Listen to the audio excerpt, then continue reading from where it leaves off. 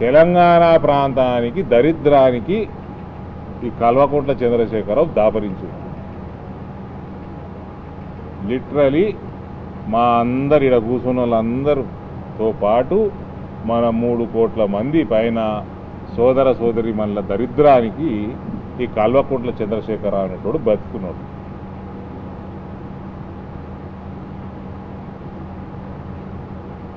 ఏమన్నా అంటే మా అధ్యక్షుడి మీద రాళ్ళు కొట్టుడు నా మీద గుడ్లు కొట్టుడు. గుడ్లు కొట్టకుర్రి. ఈటల రాజేంద్ర గారు బీజేపీలోకి వచ్చేసారు. పోల్ట్రీ మొత్తం మాకు వచ్చింది.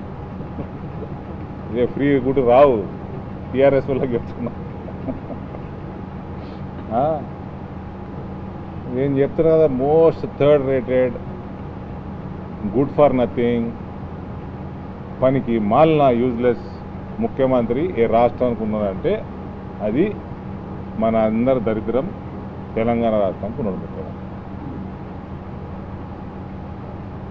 చెరుకు ఫ్యాక్టరీలు ఎందుకు తెరుస్తలేవు?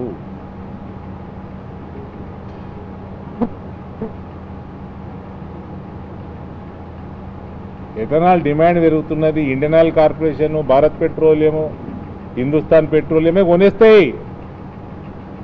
నువ్వు అమ్ము కొనిపించే బాధ్యత మాది. కొత్తది పెడతాము. కొత్తది పెట్టేటోడు కూడా తయారున్నది ఫ్యాక్టరీ. నువ్వు అయితే ఆడు వందల కోట్లు పెట్టి కొత్తది పెట్టినాక నువ్వు తెలిసినావు అనుకో వాని బెదిరి నీకు. ఇంక బెదిరి చూడాలి వాటిలకి పెట్టటోని పెట్టనిస్తలేడు.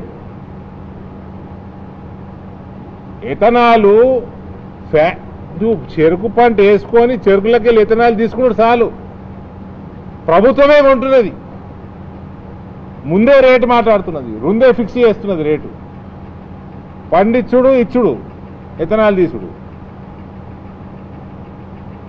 మార్కెటింగ్ అమ్ముకునే లొల్లే లేదు.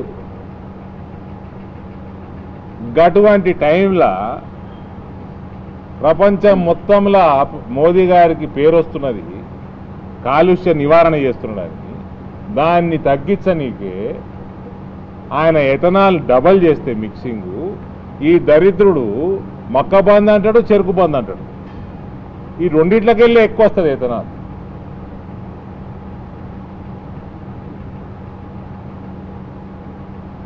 పెద్ద మునగాడు రైతుల కోసం అంటాడు మళ్ళా. కేంద్రం మూడు రూపాయలు మూడు శాతం వడ్డీ బ్యాంకులకు కడుతున్నది. నువ్వు నాలుగు శాతం ఇంటికి కడతలేవు? ఎన్నెళ్ళే బంద్ చేసి నువ్వు నాలుగు శాతం.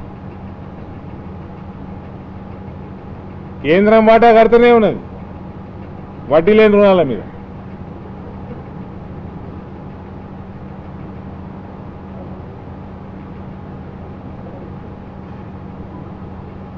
ఏందో పంజాబ్లో రైతులు చచ్చిపోయారట ఈయన కలవడ్డదో మరి. ఎందరు చనిపోయారు ఏందో మరి ఓరి చెప్పారు ఈయనకి. మూడు లక్షలు ఎక్స్గ్రేషియా ఇచ్చిండు. సరే ఇచ్చిన సంతోషం. మళ్ళీ ఈడ ఎనిమిదేళ్ళ నుంచి ఒక్కడికన్నా ఇన్ని పంటలు నష్టపోయినాయి ఈ సంవత్సరం నష్టపోయినాయి ఇప్పుడు వరి నష్టపోతున్నది వర్షాలకు అకాల వర్షాలకి నువ్వు కొనలేక నువ్వు కొనుడు శాతగాక ఖరీఫ్ పంట అరవై లక్షల టన్నులు కేంద్రం కొంటా అంటున్నది. లిఖితంగా ఇచ్చింది నీకు లిఖితపూర్వకంగా. అరవై లక్షల టన్నులు ఖరీఫ్ పంటల కేంద్రం నువ్వు ప్రొక్యూర్మెంట్ చేసి అపయపని కూడా శాతనైతలేదు నీకు.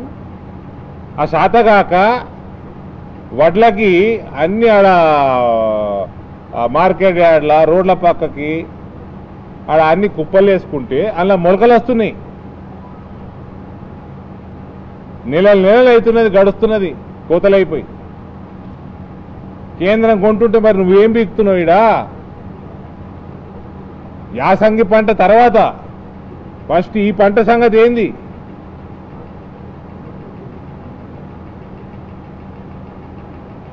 మళ్ళా తాడో పేడో తెలుసుకుని మేమే చెప్తున్నాం రా భయ్. తాడో పేడో తెలుసుకొనికనే మేము ఉన్నమీడ అదే కావాలి మాకు. అయితే ఇంతకుముందు నేను లక్కోరాల పసుపు రైతుల ఎఫ్ ఎఫ్పిఓలు మొత్తం స్పైస్ బోర్డు కొత్త రైలు వేసినామండి. కొత్త రైల్వేస్ మనకి మన పసుపు సాంగ్లీకి పంపించడానికి రైలు నడపడానికి కూడా సిద్ధంగా ఉన్నది శాంక్షన్ అయింది. Spice board NABARD horticulture agriculture అందరు ఆఫీసర్లతోటి ఈ రెండు ఎఫ్పిఓలు మనం బాల్కొండ ప్రాంతంలో తయారు చేసుకొని పంట మార్పిడి అంటే రకం మార్పిడి నూతన వ్యవసాయ విధానాలు సబ్సిడీలు అసిస్టెన్స్లు టోటల్ ఒక అవగాహన సదస్సు చేసుకొని వస్తున్నాం. ఆడ మీడియా మిత్రుడు ఒక ఆయన అడుగుతున్నారు.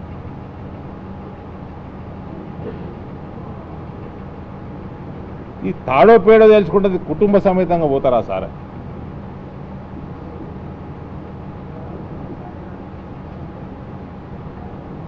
చెప్పండి.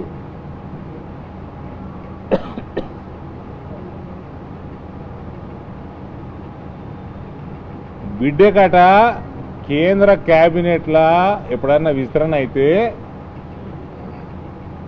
ఉద్యోగం ఎత్తుకు అడుక్కుంటందుకు పోయినని ఇంకో మీడియా మిత్రులు అడుగుతారు నేను అన్నా మాకు ఆఫీసు ఆఫీస్ బయట కాంపౌండ్ కాంపౌండ్ గేట్ బయట వాచ్మెన్ కూడా రానియడు ఇల్లని ప్రభుత్వంలోకి. మోడీ గారు అయితే చాలా దూరము.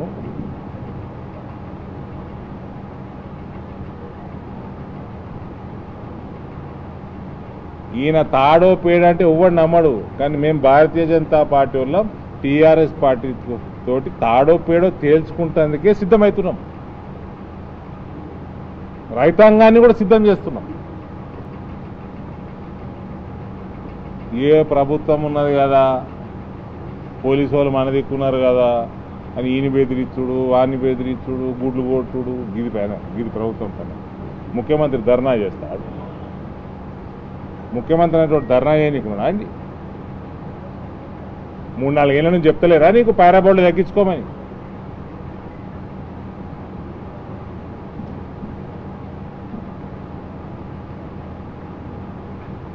ఏ ఒక్క ఒక్క పంటకి బోనస్ ఇచ్చిండా అండి? మధ్యప్రదేశ్ ప్రభుత్వం మహారాష్ట్ర ప్రభుత్వం ఛత్తీస్గఢ్ ప్రభుత్వం మూడు వందల మూడు వందల యాభై రూపాయలు బోనస్ ఇస్తున్నది. బ్రోకన్ రైస్కి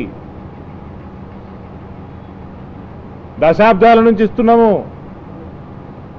ఈ రాష్ట్రంలో కూడా ఓ పన్నెండు పదిహేను పదమూడు ఏళ్ళ కిందకి పోతే యాభై రూపాయలు వంద రూపాయలు బోనస్ ఇచ్చారు వారికి.